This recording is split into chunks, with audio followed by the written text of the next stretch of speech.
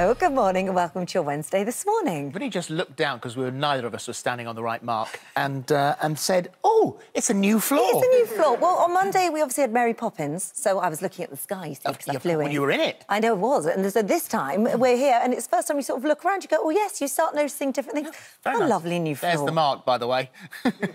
There's the mark. I'm on it. Oh yeah. Whoops. Stand outside. First of all, the Tellyland. Stand where you're meant to. when have we ever done that? That so uh, loads coming up, uh, but we're, we're starting with something that really made us chuckle this morning. Yes, take a look at this road sign outside a school in Brighton, Oh. where it appears there's been a little bit of a spelling mistake. Oh, I mean, of all the places to do it as well. I mean, oh yeah, it doesn't. I was saying it still says school, but it doesn't, does it? It says shh, cool. That, maybe that's what they were going yeah, for. be cool. Just cool. Cool. Cool at school. Well, obviously, we asked you if you'd spot any clangers before the show, and uh, yes, you have. very good. Amanda said um, we bought this bunting for my son's birthday party and didn't realise that it actually spelt out Harpy Biff Day. CJ says this sign is saying turn left, but the arrow is pointing right. Not very helpful. Uh, Jimmy says used to see this on my work on my way to work every day. Hello. Does somebody just put the S round the wrong way? Well, that's not even an S, is it? Even if you turn it the right It's way a around, that's not an S. round the wrong way, isn't it? This is really confusing. I actually wouldn't know what to do here. Gary in says in Berkhamsted, Hertfordshire, directional arrows are painted the wrong way round on That this would do your head in, wouldn't it? Well, and I, I say wouldn't. that because Well, I'm not very good with. This is an awful thing to. I'm not very good with roundabouts anyway, and sometimes I have been known to sit there and wait for someone to come along so then I know which way to go round, or I just go straight over the middle. But you can't do that on the big ones. they not- don't. They don't like that. Especially not the ones, especially not the ones that have got grass and trees. Yeah, and they don't like that. Yeah.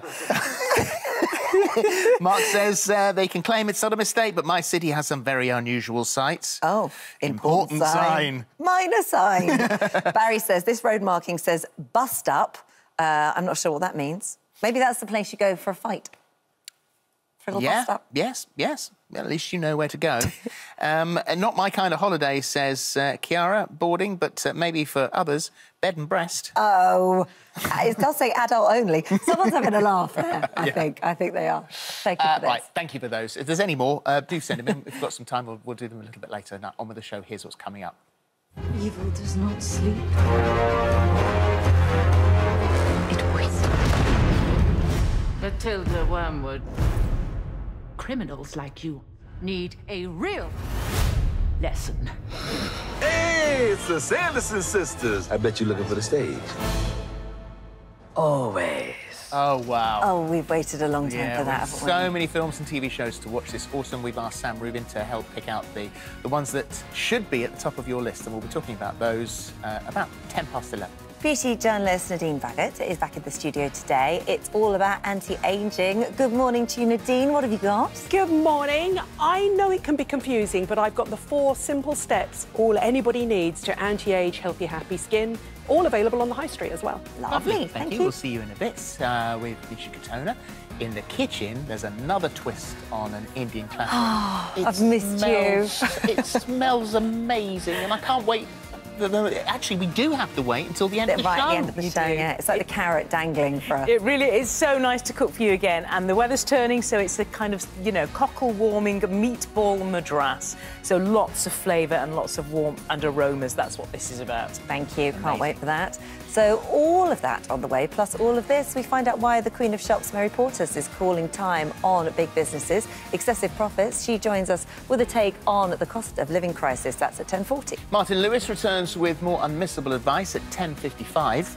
And the ever stylish Gok whisks us off to the fashion capital of Europe. He's in Paris at 11:35. Also today, former Embarrassing Bodies GP Dr Pixie is with us and uh, we'll be taking your calls on the things that you might not want to talk to your own doctor about, although Pixie will discuss in a few moments the fact that you can talk to your doctor about Yeah, anything because they've seen it all before. How can you help, Pixie?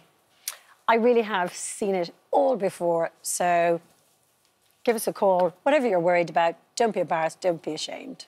okay, and you can do that. You can give us a call for free on 08000 30 40 44 or download our free This Morning app to get involved.